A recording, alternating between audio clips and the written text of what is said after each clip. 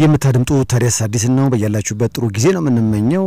አዲስ ትኩስ ወሬዎች፣ መረጃዎች ሲኖሩ እነግራችኋለን። ተወዳጇ አቀንቃኝ ቤቲጂ ልትሞሸር ነው የዜናው ርዕስ ነው። በዝርዝር ሲቀብል ደግሞ እንደዚህ ይመስላል። ቤቲጂ እንዴት ነሽ? ሰላም ነኝ፣ ደህና እግዚአብሔር ይመስገን። እንዴት ነህ ሰይፉዬ? እንኳን ደስ አለሽ። እንኳን አብሮ ደስ አለን። ያው ቀደም ብዬ ነው የሰማሁት፣ ግን ቤተሰብ ሳይሰማ እንዴት ይወራል ተብሎ ተያያዘ ጉዳዩ። ልክ ነው። አዎ በኋላ ላይ ግን የእኛንና የውጭን ባህል ስንቀላቅል እንትን ይላል አይደለ? ይደባለቃል ይደባለቃል። አዎ ያው ፕሮፖዝ የተደረገው ቀደም ብሎ ነበረ፣ ግን ሽማግሌ ደግሞ የሚላከው ትንሽ ከዛ በኋላ ሆነና፣ አዎ ልክ ነው። ቀድሞ ደርሷል። የእኔ መልእክት ደርሶ ነበረ፣ ግን የሽማግሌዎቹ ገና አልሄደም ነበረ እና እኔም ማለት ይፋ ያላወጣሁት እና የምጠብቀው የነበረው ይሄ የሽምግልናውን ቀን ነበረ። ዛሬ ጠዋት ሽማግሌዎቹ ሄደዋል። ምላሽ ምን ነበር? ምላሽ በጣም ቆንጆ ነበረ። ጥሩ ነው። ተቀብለው ተስማምተው ልጃችንን ለልጃችሁ ወገን ደስ ብለው ተባብለው፣ አዎ አዎ ደስ በሚል በሚያረካ መንፈስ ተለያይተዋል። ጋሽ ደበበ እሸቱ ሽማግሌ እንደነበር ሰምቻለሁ። እውነት ነው? አዎ ምናልባት እንግዲህ ባለቤትሽ የሚሆነው ኤልያስ በተለይ በስነ ጽሁፉ ዓለም መጽሐፍቶችን በማሳተም ትልልቅ መጽሐፎችን አንባቢያን ጋር እንዲደርሱ አድርጓልና ትውውቃችሁ እንዴት ነበር? እስኪ አስታውሺ። ምክንያቱም አንቺ የኪነ ጥበቡ ላይ ነው ያለሽው፣ እሱ እዚህ ነው ያለሽው በአብዛኛው፣ እሱ ደግሞ አሜሪካን ነው። በምን አጋጣሚ እኔ የተገናኛችሁት ሊባል ይችላል? በጣም ደስ የሚል አጋጣሚ ነው የተገናኘ ነው። ህንድ ኤምባሲ ነው የተገናኘ ነው። እሱ ለመጀመሪያ ጊዜ ከሀያ ሀያ አምስት ዓመት በኋላ ኢትዮጵያ ሲገባ ህንድ ኤምባሲ የሆነ ዝግጅት ነበረ። እኔ ደግሞ የዛኔ የማህተማ ጋንዲ መቶ ሀምሳኛ ዓመት ክብረ በዓል ይከበር ነበረ ህንድ ኤምባሲ ውስጥ እና እኔ ለሱ መታሰቢያ ዘፈን አለ በጉጅራቲ የተሰራ ዘፈን እና እሱን ለተለያዩ ዓለም ውስጥ ላሉ አርቲስቶች እንዲዘፍኑ ተደርጎ ነበረ እና እሱን ሰርቼ ያ ቪዲዮ ደግሞ ህንድ ኤምባሲ በዛን እለት ኢናጉሬት ይደረግ ነበር እና እዛ ነው የተገናኘ ነው። እዛ ነው መጀመሪያ ሀ ብለን የተዋወቅ ነው። ከዛ በኋላ ያው መጀመሪያ በጣም ጥሩ ጓደኛ ማቾች ነበርን።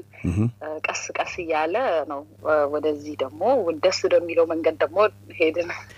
ስለዚህ ማህተመ ጋንዲ በጣም ባለውለታዬ ናቸው ነው የምትዩ? አይገርምህም? ባለውለታ የሆኑ የተለየ በመቶ ሀምሳኛ ዓመታቸው በጣም ትልቅ በጣም ትልቅ አስተዋጽኦ አድርገዋል ለህይወታችን ሊባል ይችላል አስተዋጽኦ አድርገዋል ሊባል ይችላል። ልክ ነው። አሁን እሱ ኑሮ እንግዲህ ፀሐይ አሳታሚ ትልልቅ መጽሐፎችን በማሳተም ነው የሚታወቀው ኤልያስ እና በአጋጣሚ በጣም ወዳጄ ነው። ከኔም ጋር በጣም እንተዋወቃለን።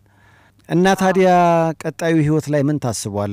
እሱ ወደዚህ ሊመጣ ወይንስ አንቺ ወደ ሎስ አንጀለስ ልትሄጂ? እስቲ እንግዲህ አሁን ለጊዜው አሁን ያለንበትን ሁኔታ እያጣጣምን ነው። ለነገ ነገ ያውቃል። በኋላ ደግሞ ለነገ ነገ ያውቃል ማለት ውስን ያደረግነው ነገር የለም፣ ግን ያው እየተማከርንበት ነው።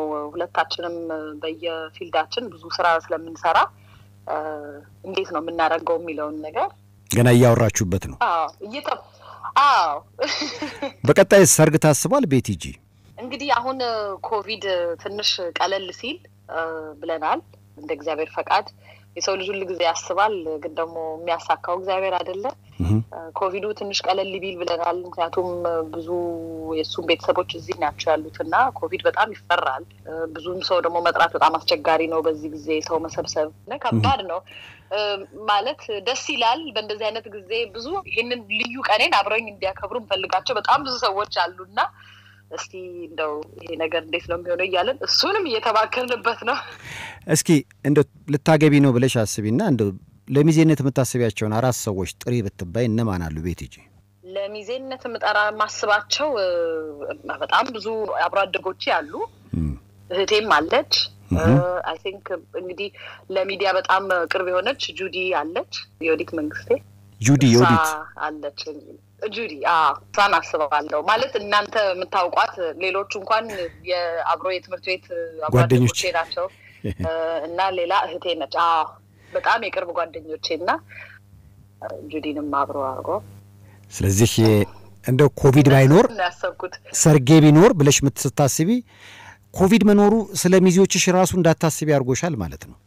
ያው ማለት በደንብ በቃ የወረደ ነገር እንዳታስብ ትንሽ ይይዝሃል እና ምን አይነት ነገር ባደርግ ጥሩ ነው የሚለውንም ነገር ሀሳብ ትንሽ የበለጠ እንድታስብ ያደርጋል። አየህ የድሮ ቀለል ያለ ነበረ። በቃ ልክ ከዛ በኋላ ሰርጉ ምን ይሁን ምናምን ብሎ ማሰብ ነበረ። አሁን ግን ብዙ ሰዎች እንዴት ነው የሚሆኑት ምንድን ነው የሚሆነው የሚለውን ነገር ትንሽ ያስጨንቃል። ምክንያቱም ኃላፊነት የጎደለው ደስታ ደግሞ ያው በኋላ ችግር ነው። ዋጋ ስለሚያስከፍለን እንደዛም እንዳይሆን ተጠንቅቀን ደስታውንም ደግሞ ፈልገን ሁለት ወዶ ከሆነ እና እንደ እግዚአብሔር ፈቃድ እያልን ነው እንግዲህ ሁለት ወዶ ሆነብን። ይኸውልህ እንዴ ስለ ኤልያስ እያሰብኩ ነበረ። እኔ እንግዲህ ባገኘሁት አጋጣሚ በጣም ቁም ነገረኛ ትልልቅ ጉዳዮች ላይ ትኩረት የሚያደርግ አይነት ሰው አድርጌ ነው ምስለው ኤልያስ እና ስለ ባለቤትሽ እስኪ ምኑን ወደድሽለት ግለጪው ብትባይ ኤልያስ ምን አይነት ሰው ነው? አንቺ በቅርበት ከኛ ይልቅ ስለምታውቂው አሁን አዎ ያው ለእኔም ያው ነው። ለእናንተ ግልጽ የሆኑት ባህሪዎች ለእኔ በበለጠ ጎልተው ይታዩኛል። በጣም ደግ ነው። ለሰው ይጨነቃል። እንዴት ነው ትልቅ ሀሳብ አለው፣ ትልቅ ህልም አለው።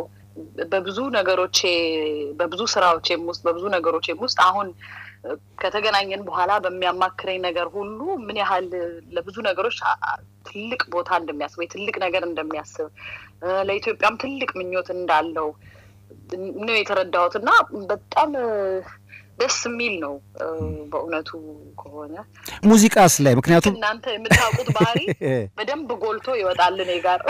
ሙዚቃስ ጋር ምልሽ ኤልያስን አስበውና ወደ መጽሐፍ ወደ የጽሁፍ ጉዳዮች እንጂ ስለ ሙዚቃ አንድም ቀን አውርተን ስለማላቅ ከእኔ ጋር እንዴት ነው? ያው ወደ ሙዚቃው እንግዲህ እኔ ሙዚቀኛዋ ሆናለሁ የቤቱ እሱ ደግሞ ድርሰቱን ይይዛል። ስለዚህ እኔ ሙዚቃውን እሱ ድርሰቱን እናደርገውና ዜማና ድርሰት እናደርገዋለን። አንድ ላይ ማዋሃድ ነው። ማዋሃድ ነው። ይህን ቃለ ምልልስ ማድረግልሽ አሁን አሜሪካን ሆነሽ ነው። አዎ አዎ አሜሪካ ነኝ። ስለዚህ በቅርቡ ትመጫለሽ። አዎ አሁን የፊታችን ሰኞ እገባለሁ። ያው አድናቂዎችሽ በጣም ደስ ብሏቸዋል። ላንቺም ለኤልያስም በጣም አመሰግናለሁ በልኝ። የአብርሃምና የሳራ ሰርግ ያድርግላችሁ። አሜን አሜን አሜን። በዚህ አጋጣሚ የምትዩ ነገር ካለ የስንብት ጥያቄ ነው። ቤቲጂ እሺ ለአድናቂዎቼ በሙሉ በጣም አመሰግናለሁ። ደስታዬን ስለተጋራችሁኝ ማለት ፈልጋለሁ። በቃ በጣም አመሰግናለሁ። ሌላ ብዙ ምን ይባላል? በጣም ደስ ልክ ነው። አይ ማለት ያው በደስታ ጊዜ ነው አይደለም። ብዙ አብሮህ የነበረውን ሰው የደገፈ በተለያዩ መንገድ ላይ አብሮህ የነበረን ሰው የምታስበው በደስታ ነው። ሁል ጊዜ የተለያዩ ደስታዎች ይኖርሃል። በዛ ደስታ ነው ከጎን የነበረውን ሰው የምታስበው እና ሁሉንም በጣም ማመስገን ፈልጋለሁ። እናቴንም በጣም ማመስገን ፈልጋለሁ። የአድማጭ ጥያቄ ነው እያየው ነው የምጠይቅሽ። ቤቲጂ እስካሁን ስንቴ ሚዜ ሆነሻል? ሚዜ በጣም ብዙ ጊዜ ያለው እንደውም ፈርቼ ነበረ። ሚዜ ብዙ ሲኮን ከባድ ነው ይባላል። አንድ አራት ጊዜ ሚዜ ሆኛለሁ። እም። ስለዚህ አራት አንዳንዴ ሚዜ በተከታታይ ለረጅም ጊዜ መሆን የሆኑ ሰዎች ያስወራሉ። ጥሩ አይደለም ይባላል እና ያስፈራሃል።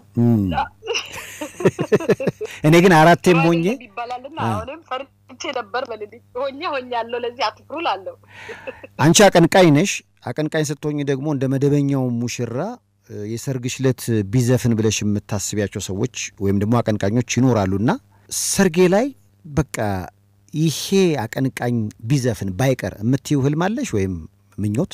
አዎ ከልጅነት ጀምሮ በጣም እመኘው የነበረው ጋሽ መሐሙድ አህመድ በሰርጌ ላይ ቢያቀነቅንልኝ ብዬ በጣም የምጓጓለት ነው እና እስቲ ኮቪዱ እንትን ይበልና ማሳካት ከተቻለ አዎ እግዚአብሔር ይወድሻል። ምክንያቱም ጋሽ መሐሙድ የጋሽ ጥላሁን አልበም በቅርቡ ይወጣል ተብሎ ይጠበቃልና ለዚህ ዝግጅት ወደ አዲስ አበባ እንደሚመጣ በቅርቡ ሰምቻለሁ። ይሄ አስደሳች ዜና ነው ሊባል ይችላል አንቺ አስደሳች ዜና ነው ሊባል ይችላል። ልክ ነው፣ ልክ ነው። ስለዚህ የጋሽ ማሙድን አንድ የሰርግ ዘፈን ልጋብዝሽ ወይንስ ሌላ ምርጫ አለሽ? ቤት ሂጂ። የጋሽ መሐሙድን የሰርግ ዘፈን ጋብዘኝ፣ በጣም ደስ ይለኛል።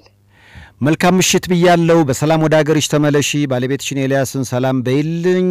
አሜን አሜን። በድጋሚ መልካሙን ሁሉ ተመኝቼላችኋለሁ። አሜን። በጣም እናመሰግናለን። ለእናንተም መልካም ይሁን። ለእናንተም መልካም ይሁን።